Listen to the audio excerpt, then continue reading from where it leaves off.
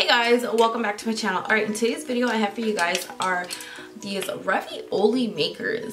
Um, I haven't used them yet to make ravioli, but what I have used them for is making uh, wontons, or because my husband and I both, we both like making um, but husband and I both like making cheese, um, cream cheese wontons. So what we do is we take the cream cheese wonton wrap and we stick it over it. And then we take, which one do we take? We take, um, blah, blah, blah. we take this one here and then we just, we obviously we fill it with uh, cream cheese and whatever else.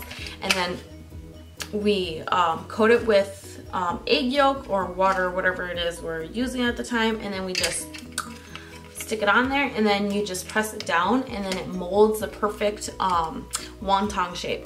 So, um, they have the shape here and then this is the little um, base. So then you just stick those in there like that and then voila. So there's that one there. And then you got this um, this design here.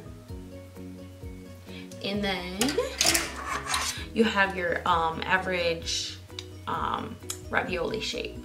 So that is that. These guys are heavy duty, they're sturdy, they're dishwasher safe, they're easy to clean, and if you are somebody who enjoys making homemade ravioli or wonton, cheese wontons or whatever it is you may think you might be able to use these for, they are great. I recommend them. And if you want to check them out for yourselves, I will leave the link to them down in the description box as always.